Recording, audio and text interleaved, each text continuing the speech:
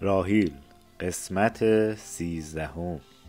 ارتباط صمیمانه پونه و راهیل سؤال بزرگی در ذهن نیما به وجود آورده بود. پونه آرام و این دختر شلوغ چگونه با هم ارتباط برقرار کرده بودند؟ البته از نظر او آنها خانواده بسیار محترمی بودند اما این دلایل برایش کافی نبودند. آرام به طرف راهیل رفت و پگاه را که بغل او بود صدا زد. پگاه جان بیا بغل دایی. پگاه بغز کرد و راهیل را محکم بغل کرد.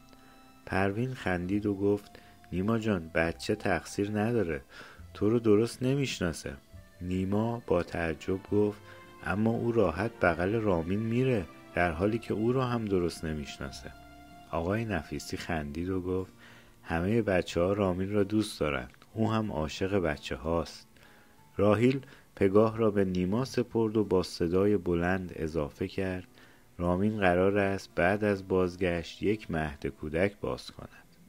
رامین با عصبانیت یک سیب به طرف راهیل انداخت و همگی خندیدند.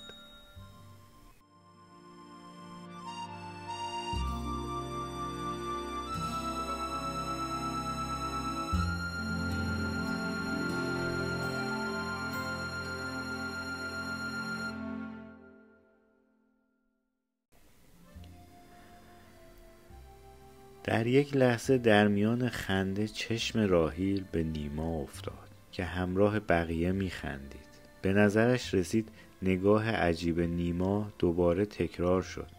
به طرف او برگشت و از نگاه او لرزید. این بار اشتباه نکرده بود. این نگاه برایش تازگی داشت. بعد از این شوخی خانم جهانگیری برای همه چای ریخت. سمیرا لیوان چای را که سر کشید چشمش به رامین افتاد که در خود فرو رفته بود آرام به کنارش رفت و پرسید چرا کسلی؟ جایت رو با من عوض می‌کنی؟ رامین گفت اینجا بهتر است درست روبرویش نشستم بعد در گوش سمیرا آرام گفت پونه نامزد داره؟ سمیرا با کنجکاوی نگاهی به پونه انداخت و گفت من که چیزی نشنیدم. چطور؟ چنین فکری کردی؟ رامین به دست چپ خود اشاره کرد. سمیرا دوباره نگاهی به پونه کرد و با خنده گفت حلقه پوران است. ظرفا را که میشست آن را به پونه داد. خیال رامین راحت شد و نفس راحتی کشید و لیوان چای را ناگهان سر کشید. اما از داغی بیش از حد آن اشکش درآمد. به قدری خوشحال بود که به روی خودش نیاورد. موقع خدافزی امیر آقا در حالی که پگاه را در آغوش داشت برای پنجشنبه شب شام از همه قول گرفت و اضافه کرد احتمالا تا آن موقع نتایج کنکور را هم اعلام کردند. نیما با راهیل خدافزی کرد و گفت البته تازه امروز شنبه است. نگاهی به صورت نگران راهیل کرد و گفت نگران نباشید. از مادر شنیدم که خوب درس خونده اید. راستی پنجشنبه دیر نکنید چون بهانه هم ندارید. راهیل سرخ شد و گفت من یه معذرت خواهی به شما بدهکارم. و چنان قیافه مظلومانه به خود گرفت که نیما به خنده افتاد.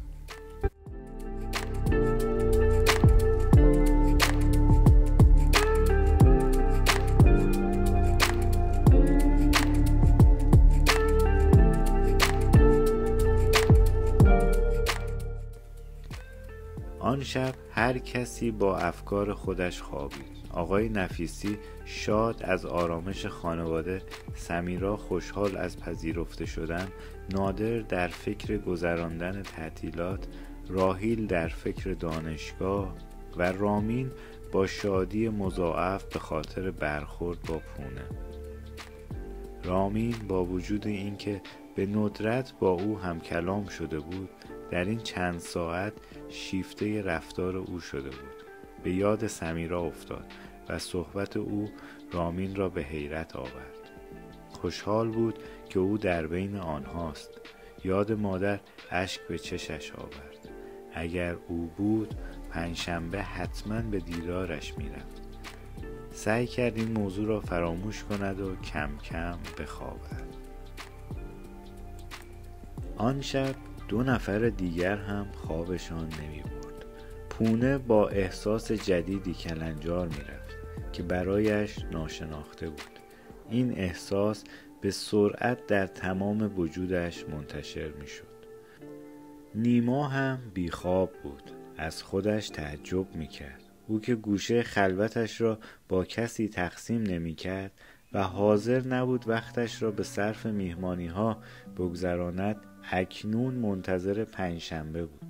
خانواده نفیسی بد جوری به دلش نشسته بودند اما او هم کم کم خسته شد و خواب این خواهر و برادر را به شهر طلایی رویاهایشان برد.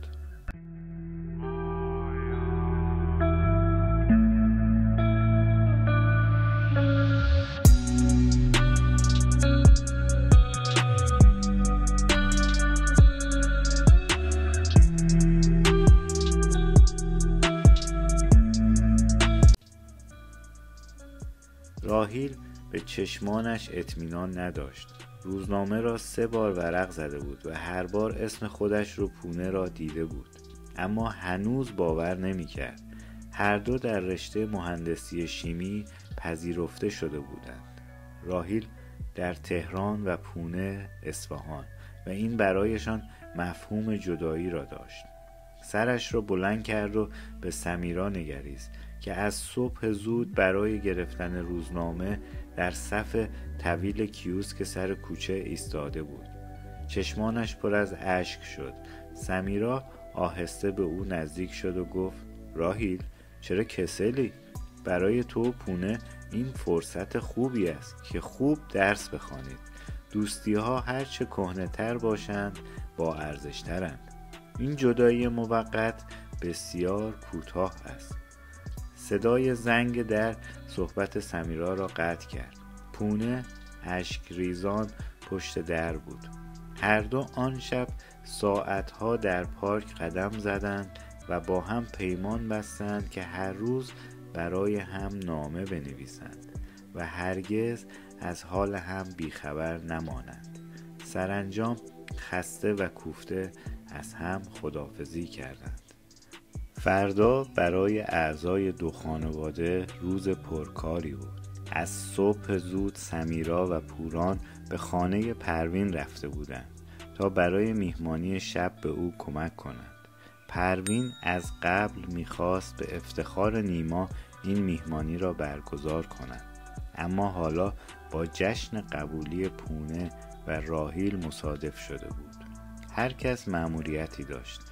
نیما برای تهیه شیرینی رفت. آقای جهانگیری با وجود دلخوری پوران به دانشگاه رفته بود. آقای نفیسی را معمور خریدن میوه کرده بودند. امیر آقا و نادر پذیرایی را تزین کردند و رامین به همراه سمیرا برای تهیه گل به گل فروشی رفت. پروین و خانم جهانگیری هم مشغول آشپزی شدند. پونه و راهیل تمام روز خودشان را در اتاقشان زندانی کرده بودند و از اینکه دیگران اینقدر خوشحالند عصبانی بودند. نزدیک غروب بود که کارها تقریبا تمام شد و آقای جهانگیری خسته از راه رسید. خبر بسیار خوشحال کننده ای داشت که ترجیح داد بعد از شام اعلام کند. راهیل گوشی تلفن را با بیمیلی گذاشت. در مقابل اصرار پروین نتوانست مقاومت کند. به سراغ کمد لباس رفت و بلوز و شلواری نارنجی را انتخاب کرد و پوشید. دستی به موهایش کشید و به حیات رفت.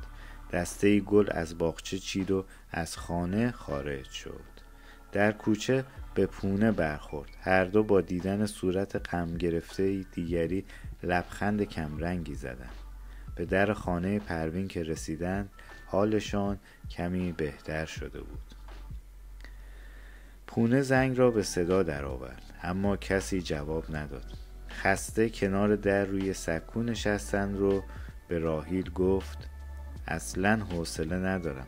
همه از قبولی خوشحال می شود اما من ناراحتم.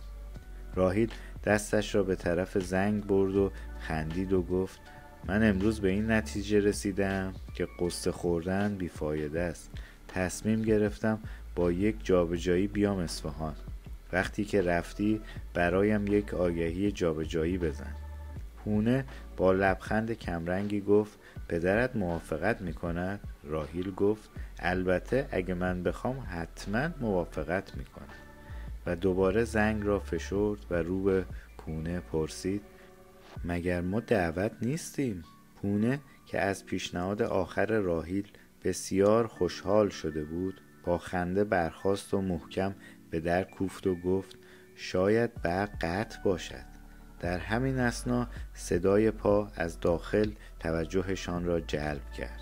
کسی با عجله پایین آمد. راهیل گفت بالاخره یکی در را باز کرد. پاک عصبانی شده بود. در همین لحظه در باز شد. نیما نفس زنان پشت در بود. پونه با سلام بلند بالایی وارد شد و راهیل چپ چپ نگاهش کرد و گفت شما ظاهرا همیشه تأخیر دارید.